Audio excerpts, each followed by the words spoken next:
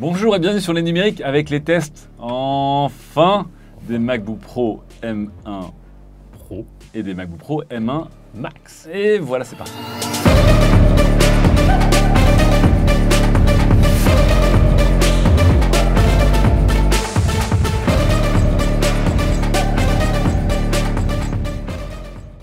Bon, Raphaël, on a un peu attendu pour avoir ces tests, mais c'était pour des bonnes raisons.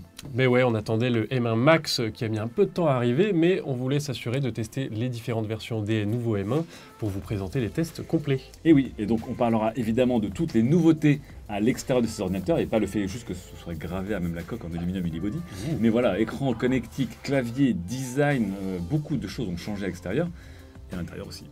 Et oui, alors en matière d'audio évidemment, mais surtout ce qui nous intéressait cette fois, c'est les performances. Alors on a fait énormément de tests, de benchmark, et on a essayé de comparer les M1 Pro avec les M1 Max évidemment. Sans oublier nos chers amis euh, PC, puisqu'on a aussi testé du Intel et du AMD pour les comparer. On commence par le tour du propriétaire puisque bah, à l'extérieur tout a changé. Ça faisait très longtemps, euh, quelques années qu'on n'avait pas changé complètement le design et ça pousse un peu de la fonte. hein. Ça pousse, ça pousse un peu la fente puisqu'on a pris un peu d'embonpoint, on est légèrement au-dessus des 2 kg maintenant. Euh, on a un design qui est euh, plus aplati, plus cubique.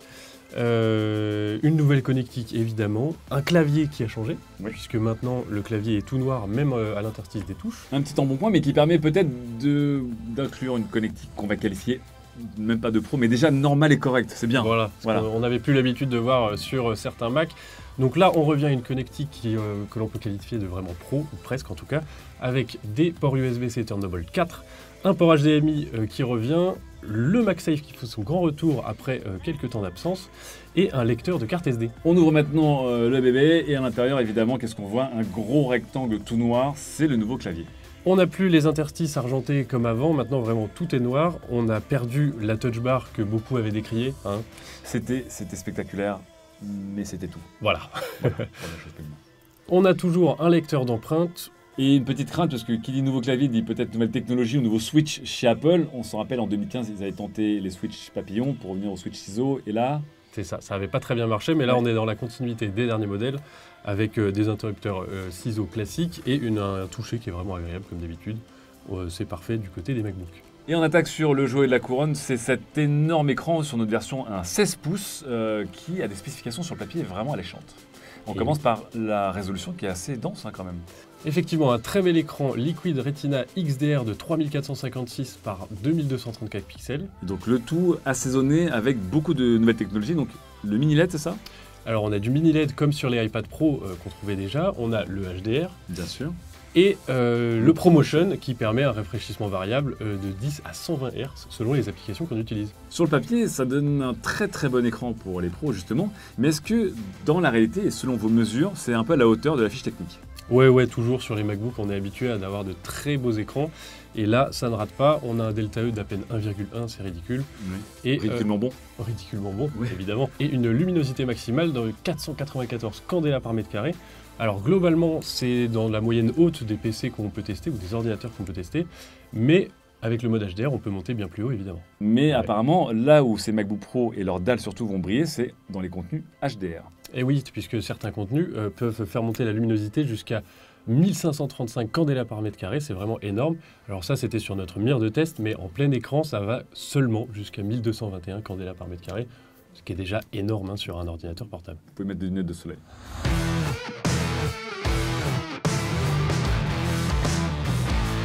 Reste dans cet océan de bonheur un point noir, enfin un point noir, une, une encoche noire qui a beaucoup fait de débats.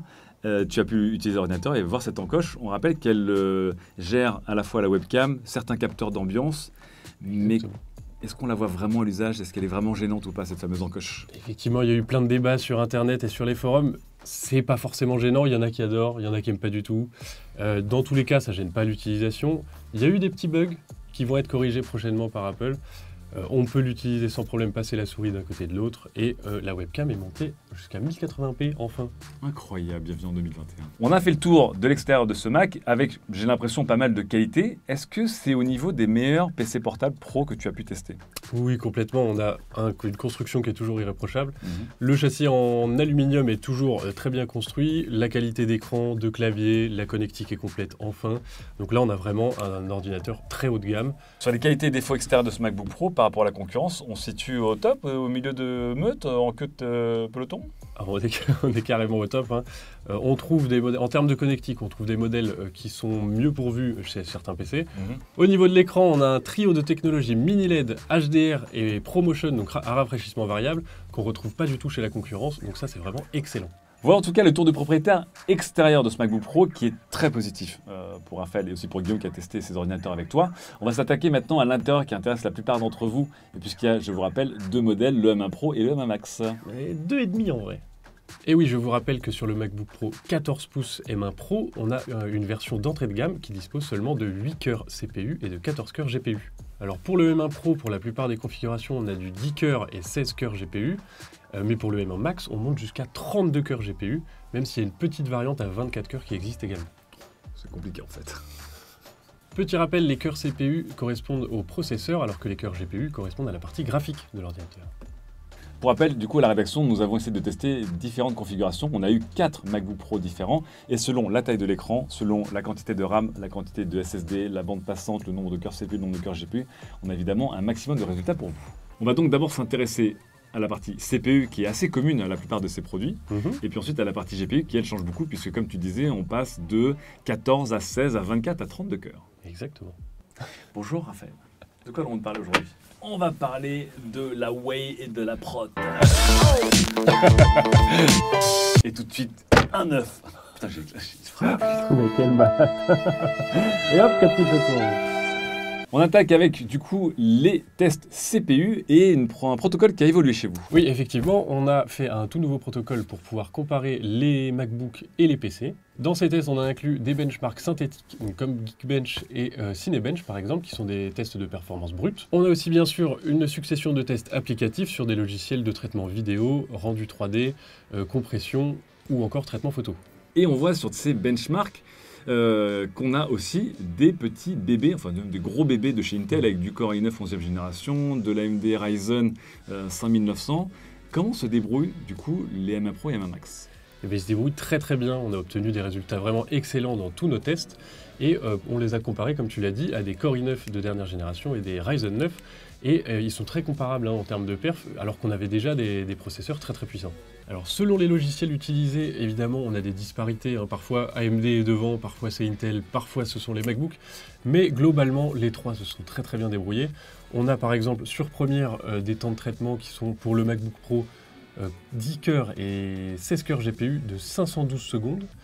L'AMD a fait 330 secondes et le Intel 336. Donc là, le MacBook est un peu à la traîne, mais il se rattrape par exemple sur un test de Blender de rendu euh, 3D. Euh, on a le MacBook qui fait 687 secondes de traitement, AMD fait 650 secondes et Intel est par contre beaucoup plus lent avec 762 secondes. Petite question à ce fameux M1 Max, est-ce que le fait que les corps CPU soient les mêmes change quelque chose ou du coup il a exactement les mêmes perfs que le M1 Pro? Et bien, malgré une bande passante qui est doublée, hein, on l'avait vu, pour la mémoire pour ouais. la mémoire euh, processeur, et bien en fait, euh, ça n'a rien changé du tout. On a des résultats qui sont vraiment euh, identiques entre le M1 Pro et le M1 Max. Et de l'autre côté du spectre MacBook Pro, après le M1 Max, euh, que vaut le M1 Pro avec seulement 8 cœurs CPU le 10 On a un petit ralentissement des performances avec des temps de traitement un peu plus longs, 20% en moyenne, donc ce qui est finalement corrélé au nombre de cœurs CPU. Voilà le bilan côté CPU qui est très bon puisque ça se tient avec les meilleurs du côté euh, du x86. Qu'est-ce que ça donne du côté des GPU et ces fameuses configurations à 14, 16, 24 et 32 cœurs? Je voudrais attirer votre attention sur deux tests très parlants qu'on a fait en traitement vidéo sous Adobe Premiere et en jeu vidéo sous Tomb Raider. Faut que tu me regardes la caméra et pas moi, genre. Ton genre, c'est bien, c'était ton voulais, c'est bien. voulais- je voulais que t'aies genre, euh, Alors je voudrais qu'on se penche sur deux applications très parlantes. Adobe Premiere pour le traitement vidéo et Tomb Raider pour le jeu vidéo. C'est bien dans ce type d'application que le nombre de cœurs GPU se fait sentir. Sous Adobe Premiere, avec le M1 Pro, on a relevé un temps de traitement de 320 secondes, alors qu'avec le M1 Max, on est descendu à 180 secondes, donc soit un gain de performance de près de 80%. Du côté des CPU, on a de l'AMD et d'Intel, et du coup, du côté GPU, qu'est-ce qu'on a mis en face de ces M1 Alors pour le moment, on a testé euh, des ordinateurs équipés de RTX 3060, 3060 dans la version mobile. Et globalement, les RTX 3060 offrent des performances qui sont vraiment entre le M1 Pro et le M1 Max. L'autre test est parlant, mais bon, c'est drôle parce qu'on va parler de gaming sur Mac. Spoiler, la situation s'est pas rangée, mais bon, Tomb Raider, qu'est-ce que ça donne? Et bien sur Tomb Raider, étonnamment, avec le M1 Pro, on est monté à 47 images par seconde, ce qui est déjà un très très beau score. Et avec le M1 Max, on est monté jusqu'à 85 images par seconde, donc on pourrait quasiment faire du gaming sur Mac. Incroyable Et la GeForce finalement est quasiment au même niveau, hein, on est à 89 images par seconde. Par contre, évidemment, le- les RTX permettent d'utiliser les technologies de Nvidia, que ce soit le ray tracing et le DLSS, que n'ont pas les MacBooks. On a sur le CPU et le GPU des scores vraiment flatteurs. On est dans l'eau du panier euh, là-dessus, Raphaël. Carrément. En général, lorsque j'ai des scores dans l'eau du panier avec un PC, ça vient aussi dans le package avec deux coups et deux revers de la médaille. C'est évidemment la chaleur et le bruit qu'il dégage. Qu'en est-il sur les MacBook Pro?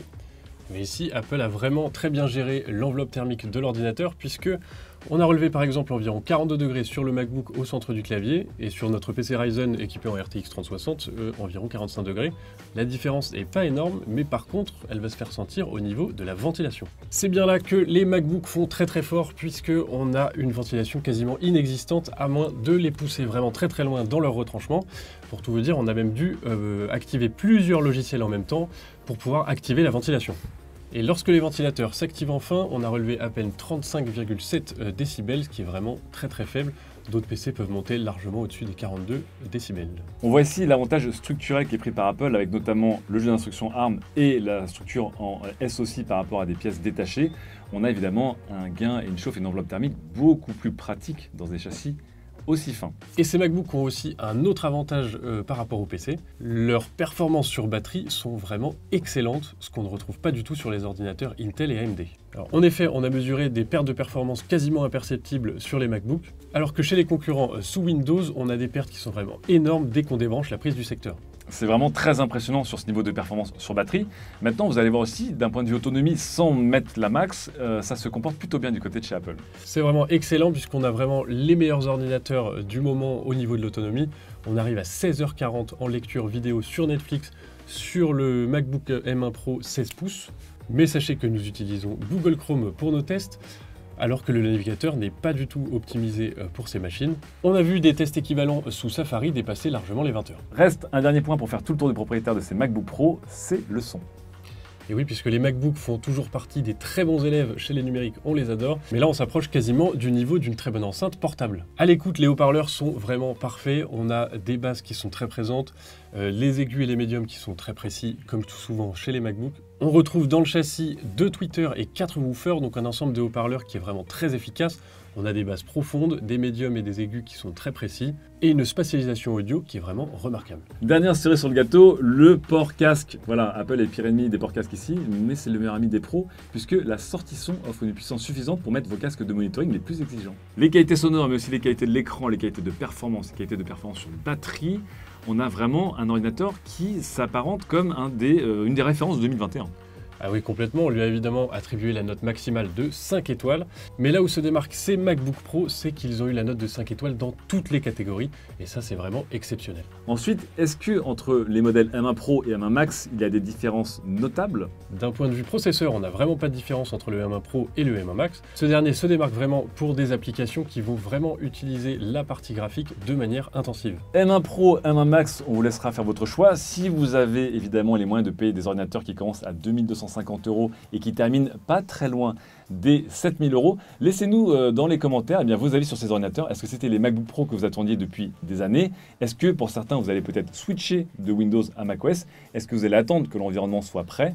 On répondra évidemment à toutes vos questions avec grand plaisir. Vous pouvez évidemment retrouver tous nos tests et nos benchmarks sur le site des numériques et vous pourrez retrouver ces liens euh, sous la vidéo. En attendant, on retourne à nos benchmarks. À très vite.